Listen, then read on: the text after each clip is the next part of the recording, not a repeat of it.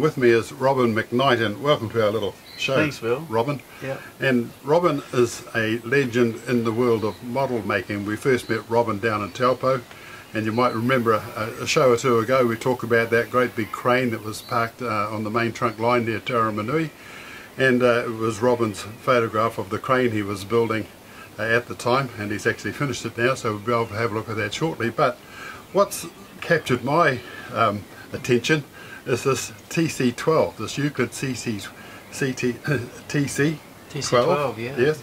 And um, it's just like it's the real thing really. And Robyn perhaps just tell me a little bit what inspired you to do this. Um, basically um, I saw it when I was a kid when I was really young about 12 or 13 and it was on the Whareatas when my parents were doing a trip to Wellington.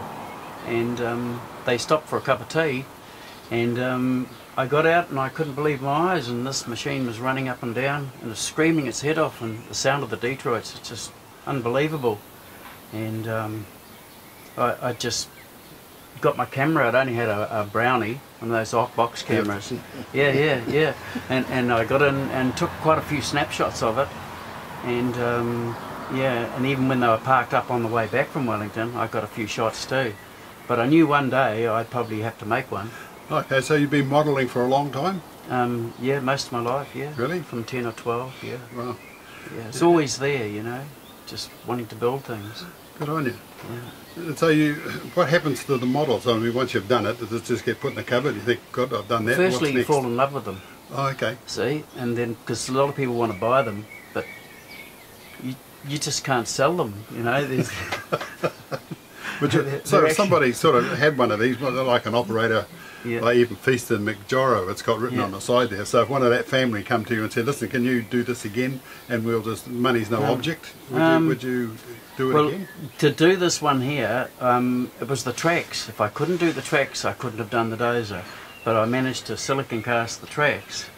And um, but now I'm on a source of tracks where I can um, I could probably make other dozers now. Oh, okay. So I don't there's not not the time involved. Tell me about the tracks. I mean, they've, they're, uh, they've got to be put on the right way. Yeah. And um, when you sent the photographs up, um, my friend who had one of these said, Yeah. "Has he put the tracks on the right way?" And he, we looked Yeah. at it. Very, oh, he has. You know. Well, for a start, I, I, I did when I did the um, the, the the track frames and everything. I, I started on the dozer. Then um, what happened was um, I had a good look at it, and yeah, the tracks were on back to front, and um, yeah, so uh, that was a major because I've got to uh, drop the master pin. It's got a master pin in it, and um, because they're they're not robust, the tracks, they're only you know um, fiberglass. But um, yeah, you've got to be a bit careful. But I So, so each one of these, each one of these um, plates Yeah. is Grousers. Pinned, is, grousers is Yeah. pinned on individually. Uh, no, no. I actually made a master, and what happens is you make the whole track with the with the chain link in it, Oh, okay. Yeah. and these these are just pins, and you drill like in the master they had little holes in them, and of course you just get a pin and you just cut the head off, and then you put each shaft in in the track. So this whole machine is, is from the ground up, out of your head. Yeah, yeah. And from yeah, photographs. Just on a photograph, yeah, Good. God. and just um, just photos, yeah, So every bit of this you've made.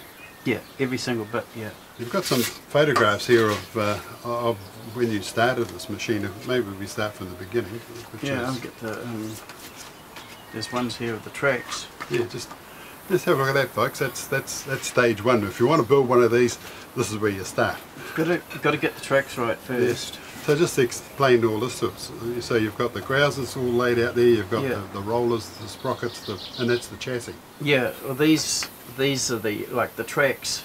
Um, there's about 80 links, 80 grousers in, in one one row, and you've got to um, you've got to build the because these because of the TC12, um, it's got two two engines, so all this oscillates.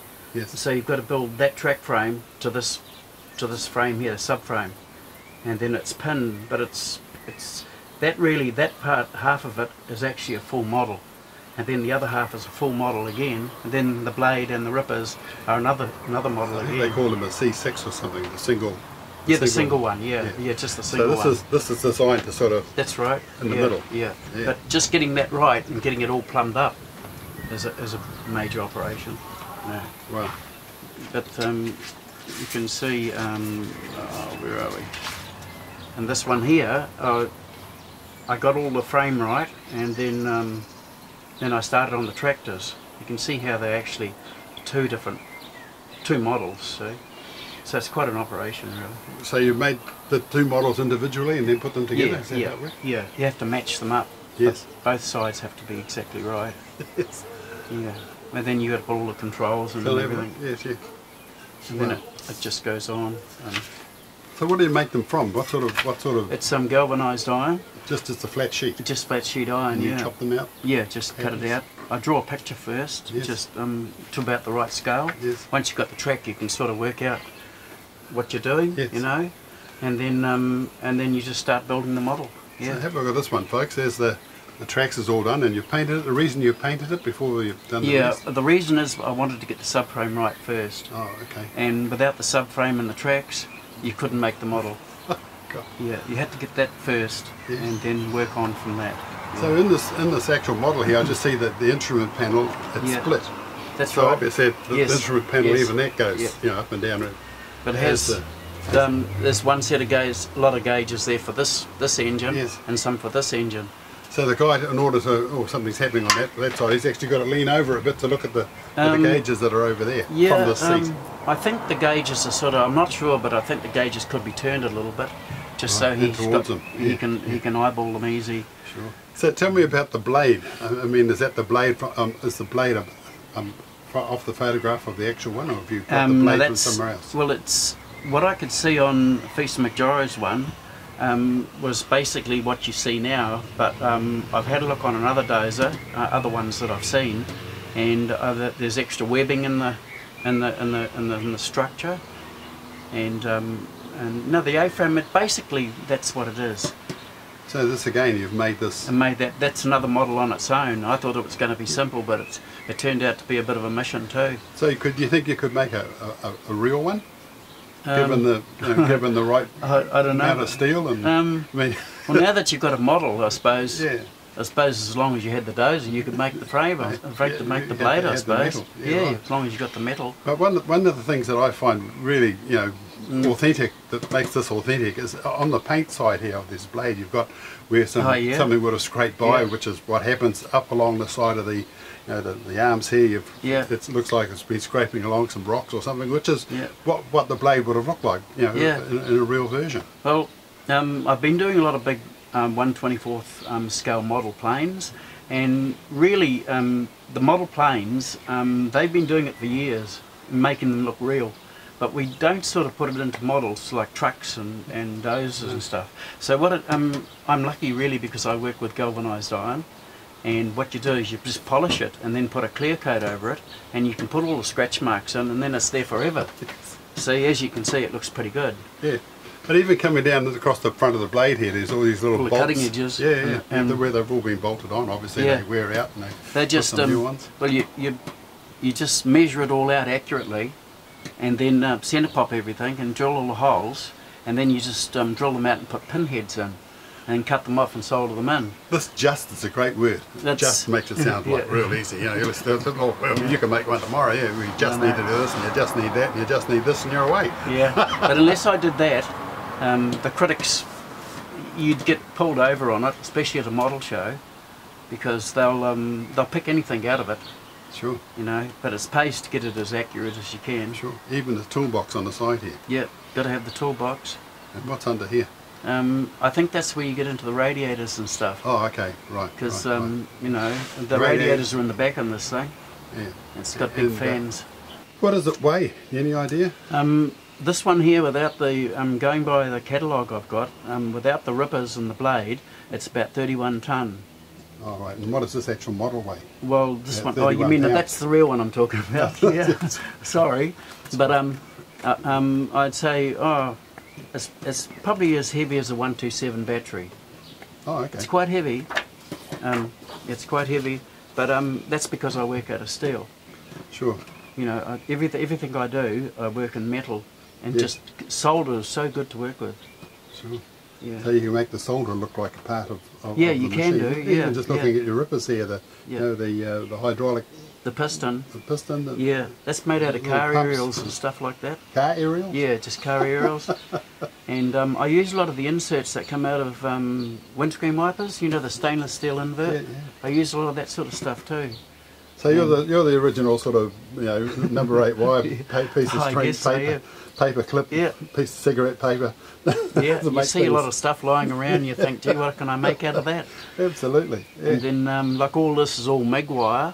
yes. And if you're using a bit of stainless stuff, you know, it doesn't go rusty and stuff like that. You No. know. And, and the little rubber handles on the on yeah, the controls that's little bits of plastic. Yeah, just um, tubing. Sure. And, and the cords, well, the- you know, these would have been in real life they're wire ropes, but Yeah, what are you using? it's for? just fishing line there. Miniature fishing lines. There's different gauges. Yes, And um, yeah, so I use fishing line, but the, the pulleys are all uh, washers. And what you do is you um, fire one edge of one washer, and then you do another one. Then you glue them together with power glue, and that forms a pulley. But you know, I've got a, um, a whole series of miniature washers. I get them from the um, you know steel and tube, and they give me bulk, lots of them. The um, the machines at the time, I see they, they pull up with, with with the ropes, but uh, over uh, uh, there's some reason why they don't use hydraulics. Do you know Um, what that is? Um, I th- think in, in the later model ones they could have used hydraulics, but these ones here um, they centralise themselves because because of the pulley arrangement. One crosses over to the other, and and when they, you know it just counteracts itself. Sure. And I guess having these two machines doing that uh, would, would buckle. It's going all the time. I mean, would buckle um, any any, Any rams? hydraulics. Yeah, um, it's hard to say. I've never seen one with hydraulics. No. No, no. But the cables, cable, the cable area er, era, to me was it was more fascinating. It's like a tractor and scoop with the onions, yeah, yeah. the scoops. Yeah. Um, they just look good to see all the wire ropes working and Yes, stuff like yeah. that. You know, it's Yeah. just um, unique. Hi everyone, my new book, Talking Trucks, is now available. I'll just read you what Alex McClellan of McClellan Freight in Balclutha had to say in the foreword. This book is the result of many miles travelled, many people met, and many vehicles and machines documented. As people pass on, their stories go with them. So it was great that Bill and Linda could document their stories not only for their historic value to New Zealand, but also to the families of the people who took the time to pass it on through Bill's shows. I think this book goes some way to honouring that responsibility. Thank you, Alex. I also spoke to Gavin Abbott, and uh, Gavin, as you know, is a, an author himself, written something like six or seven or eight trucking books, and he said, Well, Bill, as you know, I've read a few trucking books in my time, but I have to tell you that this book is up there with the best of them. So there you go. If you'd like to get your copy, the easiest way is to go to our webpage at Uh, www.lowgear.co.nz or flick me an email, billhohepper at extra.co.nz, or perhaps even just give me a call, 027 277 0717, and we can sort out the details. So there you go, Talking Trucks, now available, and maybe you get your copy for a gift for Father's Day.